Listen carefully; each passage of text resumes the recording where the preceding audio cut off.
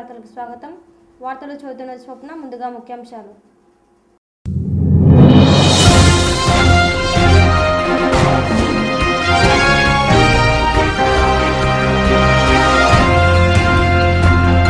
కడప కార్పొరేషన్ను పాలకవర్గం విస్మరించడం దుర్మార్గం. సీసీ డ్రైనేజ్ కాల్వ శంకుస్థాపన కార్యక్రమంలో ఎద్దేవా చేసిన టీడీపీ జిల్లా అధ్యక్షుడు శ్రీనివాసరెడ్డి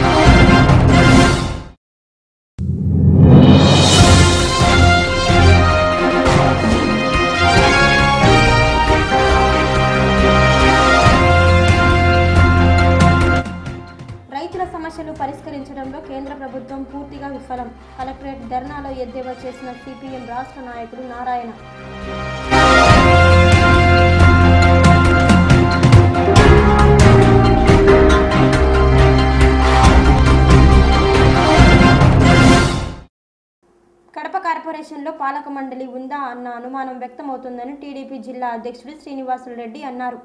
కడప నగరంలోని నలభై ఐదవ డివిజన్ తారక రామారావు నగర్లో ఏడు లక్షల రూపాయలతో సీసీ డ్రైనేజ్ పనులకు శంకుస్థాపన చేశారు.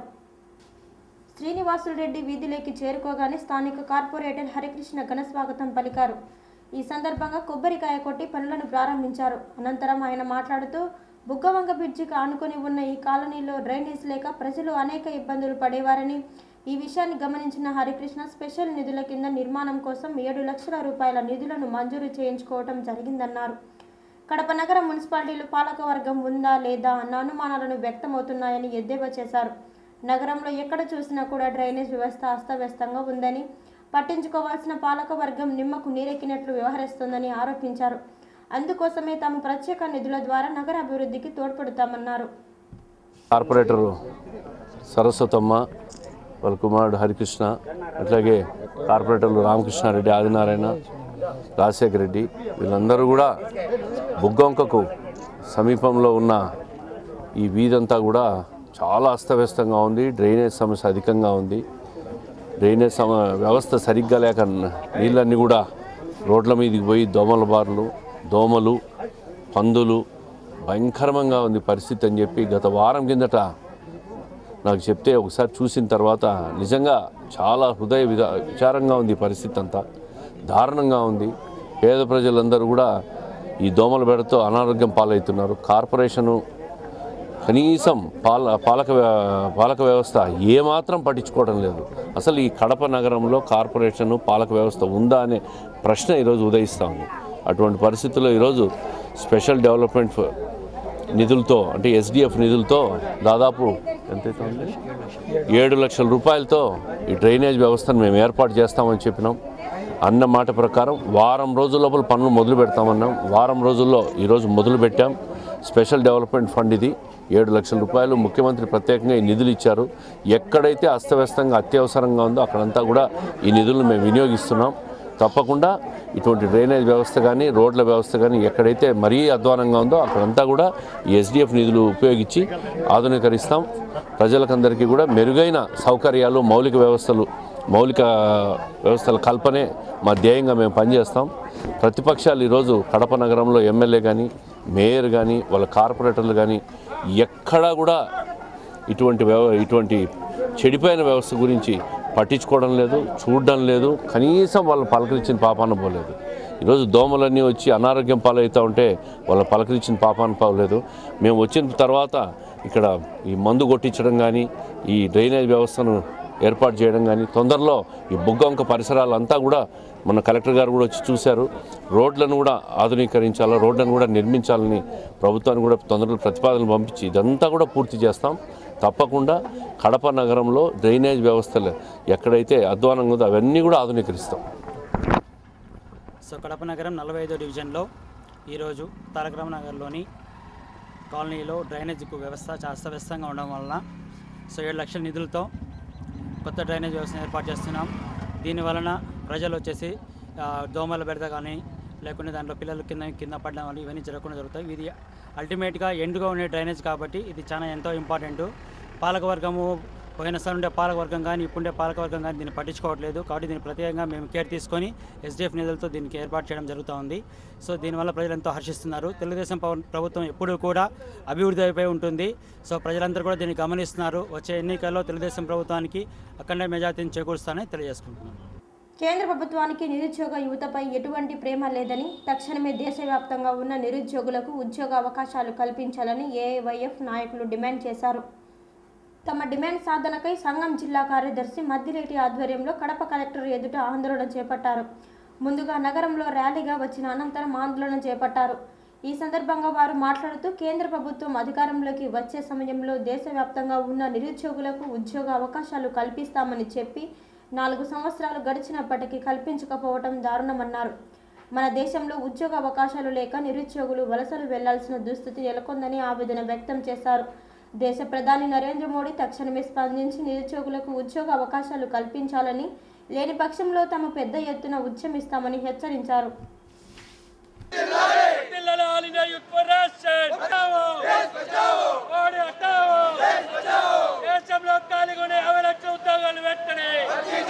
దేశంలో ఖాళీగా ఉన్న యాభై లక్షల దేశంలో ఖాళీగా ఉన్న ఉద్యోగాలను వెంటనే. భర్తీ చేయాలి దేశంలో ఖాళీగా ఉన్న ఉద్యోగాలను వెంటనే. జై వైఎఫ్ జిందాబాద్. జిందాబాద్ జిందాబాద్. జై వైఎఫ్ జిందాబాద్ జిందాబాద్ జిందాబాద్ జై వైఎఫ్ జిందాబాద్ దేశంలో ఖాళీగా ఉన్నటువంటి యాభై లక్షల ఉద్యోగాలు వెంటనే. దేశంలో ఖాళీగా ఉన్నటువంటి యాభై లక్షల ఉద్యోగాలు వెంటనే.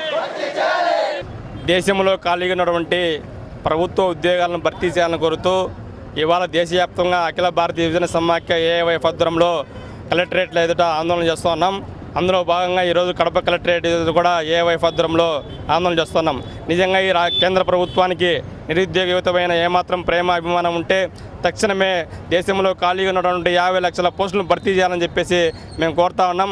ఎన్నికల సందర్భంలో ప్రతి సంవత్సరానికి రెండు కోట్ల ఉద్యోగాలు ఇస్తామని చెప్పి రెండు వేల పద్నాలుగులో పలికినటువంటి చిలుక పలుకులు పలికినటువంటి నరేంద్ర మోడీ ఇవాళ ఎన్నికల్లోకి వచ్చిన తర్వాత గెలిచిన తర్వాత నాలుగు సంవత్సరాలు గడిచినప్పటికీ కూడా ఇంతవరకు కూడా ఒక ఉద్యోగం సంబంధించి కూడా నోటిఫికేషన్ విడుదల చేయడం లేదు.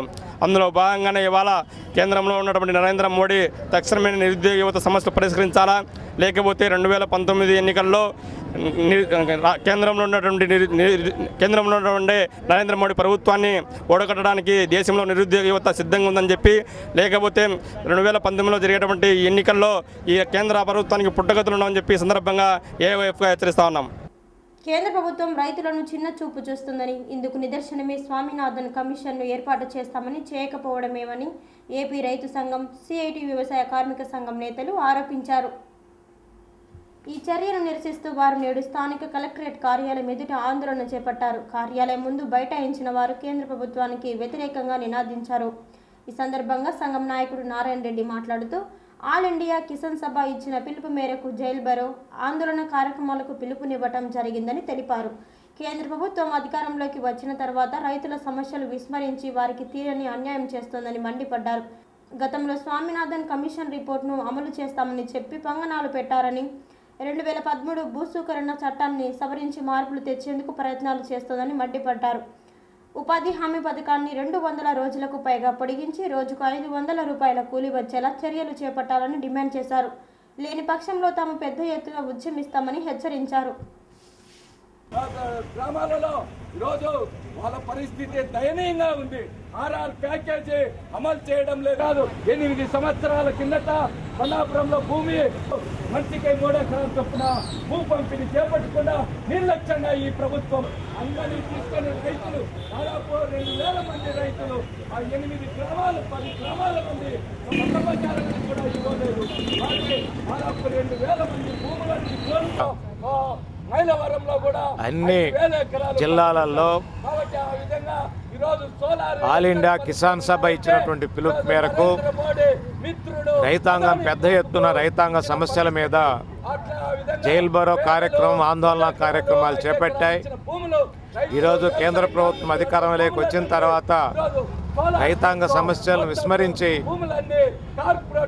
రైతులకు తీవ్రమైనటువంటి అన్యాయం చేస్తూ ఉంది. ఎందుకనంటే స్వామినాథన్ కమిషన్ రిపోర్ట్ను అమలు జరుపుతానని చెప్పింది. కానీ స్వామినాథన్ కమిషన్ రిపోర్టుకి పంగనామాలు పెట్టింది. అట్లాగే రెండు వేల పదమూడు భూసేకరణ చట్టాన్ని అమలు చేయ నిరాకరిస్తూ ఉంది. దాంట్లో మార్పులు తీసుకురావడానికి ప్రయత్నం చేస్తూ ఉంది. అదేవిధంగా ఈరోజు ఈ ఉపాధి హామీ పథకానికి చిల్లుగొట్టేటువంటి ప్రయత్నం చేస్తూ ఉంది. ఉపాధి హామీ పథకాన్ని రెండు వందల రోజులకు పొడిగించి రోజుకు కనీసం ఐదు వందల రూపాయలు వేతనం ఇవ్వాలా అని చెప్పి కూడా ఈరోజు ఈ ఆందోళన చేపట్టడం జరిగింది. ఇదే కాకుండా ఈరోజు కరువు సహాయక చర్యలు చేపట్టాలని జిల్లాలో ప్రాజెక్టులు పూర్తి చేసి సాగునీ సాగునీరు తాగునీరు ఇచ్చి శాశ్వత కరువు నివారణ చర్యలు చేపట్టాలని చెప్పి అట్లాగే మూసివేసినటువంటి వ్యవసాయ ఆధారిత పరిశ్రమ అయినటువంటి షుగర్ ఫ్యాక్టరీని తెరిపించాలా అని చెప్పి దున్నేవాడికి భూమి ఇవ్వాలా పేదలందరికీ కూడా వ్యవసాయ భూమి ఇవ్వాలా ఆ విధంగా గ్రామీణ ప్రాంతాల్లో ఉన్నటువంటి దారిద్ర్యాన్ని పోగొట్టాలా అని చెప్పి అనేకమైనటువంటి డిమాండ్స్ మీద ఈరోజు ఆందోళన చేస్తూ ఉన్నాం. ఈ ఆందోళనకు సిఐటియు కూడా మద్దతు తెలియజేస్తూ ఉంది. సిఐటి మాతే కాకుండా ఏఐకేఎస్ ఆందోళనలో భాగంగా వ్యవసాయ కార్మిక సంఘం కూడా దీంట్లో భాగం పంచుకుంటుంది. రాబోయేటువంటి రోజుల్లో ప్రభుత్వాలు ఈ సమస్యలను పరిష్కరించకపోతే మరిన్ని ఉద్యమాలకు రైతాంగం సంసిద్ధం అవుతారు ప్రభుత్వం ఎప్పటికైనా సరే కళ్ళు తెరిచి రైతాంగ సమస్యలు కూలీల సమస్యలను తక్షణం పరిష్కరించాలా అని చెప్పి మేము డిమాండ్ చేస్తూ ఉన్నాం.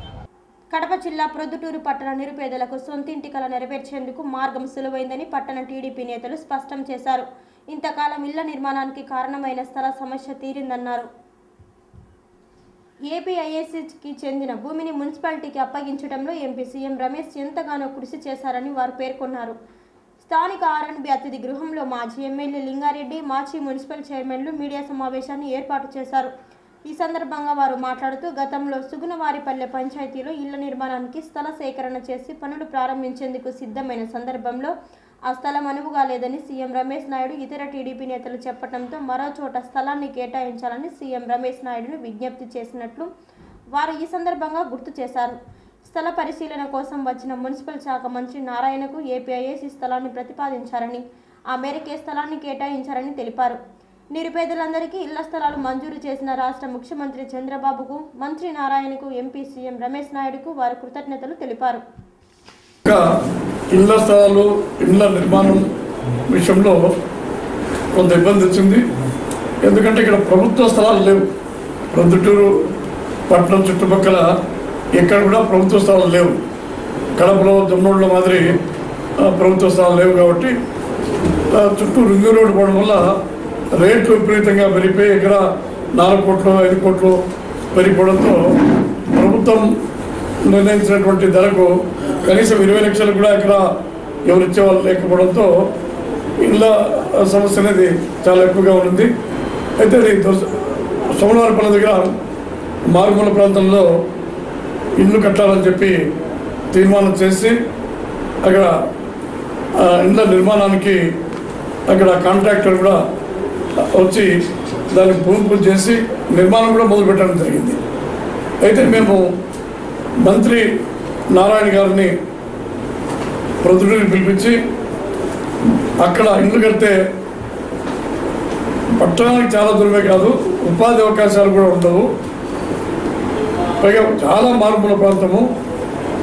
అక్కడ అవసరం లేదు. పైగా మనం అపార్ట్మెంట్లో చాలా అత్యున్నత ప్రమాణాలతో అంతర్జాతీయ ప్రమాణాలతో మనకు కడుతున్నాం కాబట్టి అంత విలువలైనటువంటి స్థలం అంత దూరమైనటువంటి మార్గంలో స్థలంలో కడితే ఈ కాపులో కూడా మదీనా ఇంజనీర్ దగ్గర అవన్నీ కట్టారు మొన్న మొన్నటి వరకు కూడా ఎవరు చేరలేదు. ఇబ్బంది అవుతుందని చెప్పి ఇక్కడ అప్పర్ పార్క్ బైపాస్ రోడ్డు పక్కనే పొరపాటు రోడ్లో అవి చూపిస్తే ఆయన కూడా ఒప్పుకొని ఆ యొక్క స్థలాన్ని ఇళ్ళ నిర్మాణానికి ఇవ్వడానికి ఆదేశాలు కూడా ఇవ్వడం జరిగింది. ముఖ్యమంత్రి గారు కూడా ప్రతిపాదన పంపితే ఆయన కూడా అంగీకరించడం జరిగింది.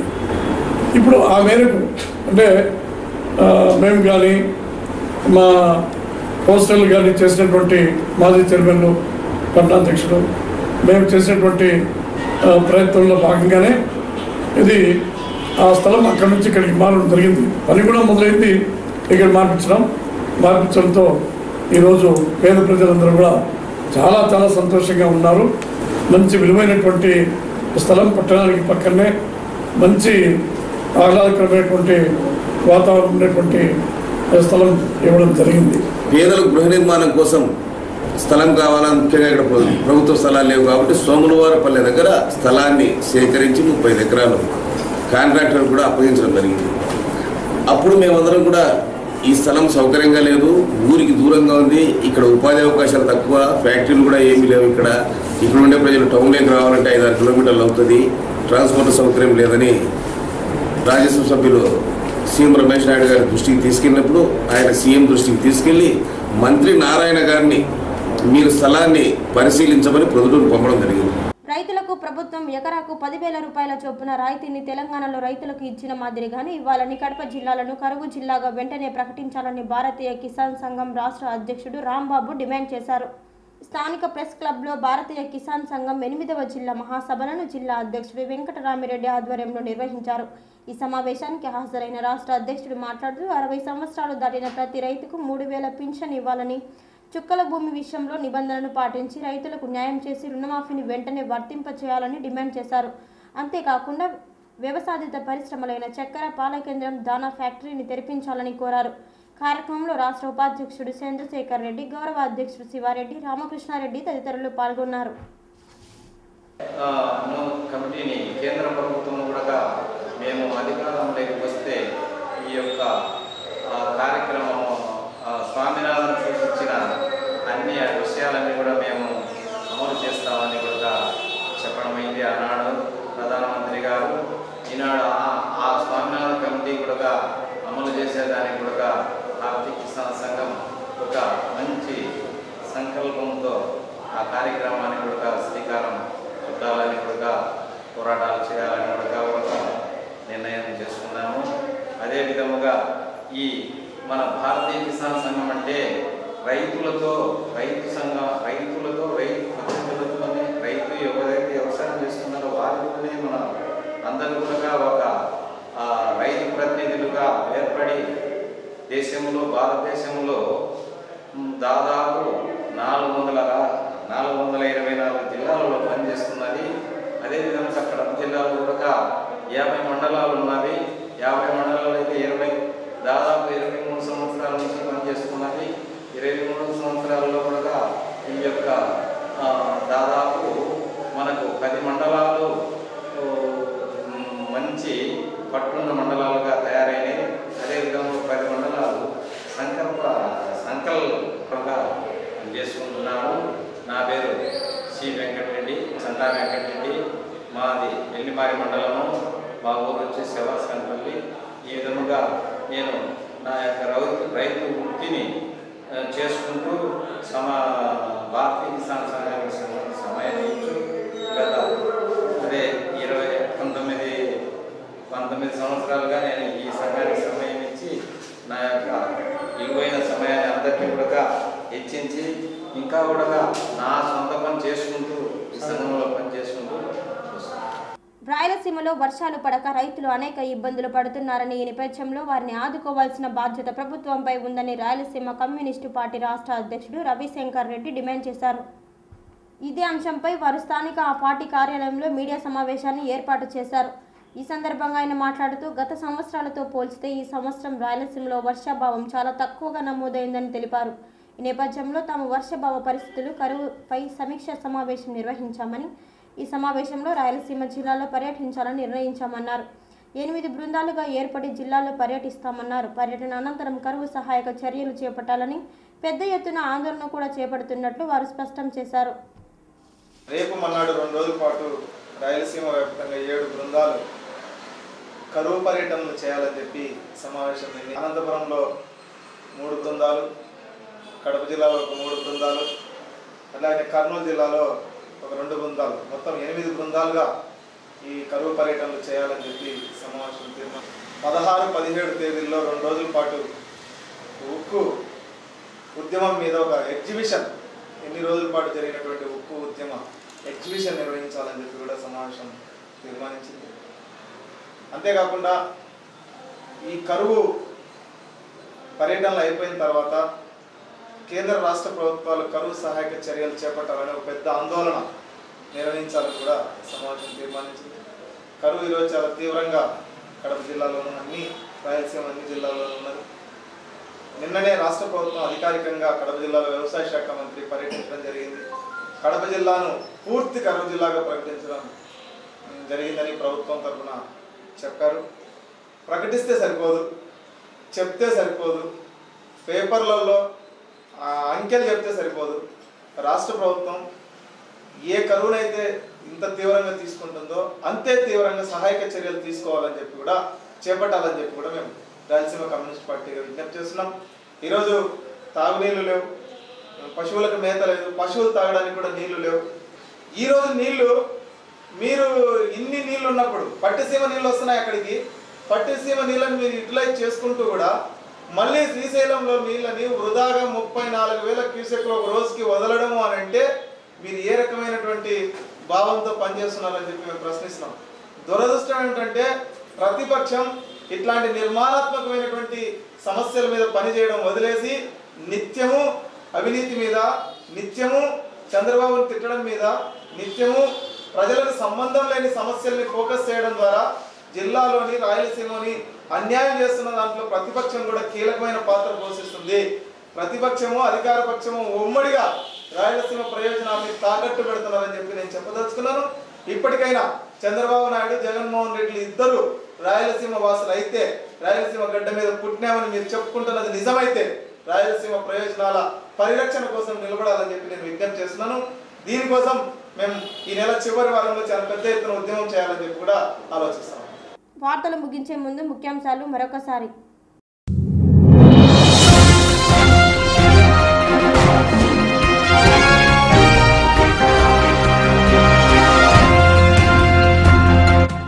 కార్పొరేషన్ను పాలకవర్గం విస్మరించడం దుర్మార్గం. సీసీ డ్రైనేజ్ కాల్వ శంకుస్థాపన కార్యక్రమంలో ఎద్దేవా చేసిన టీడీపీ జిల్లా అధ్యక్షుడు శ్రీనివాసరెడ్డి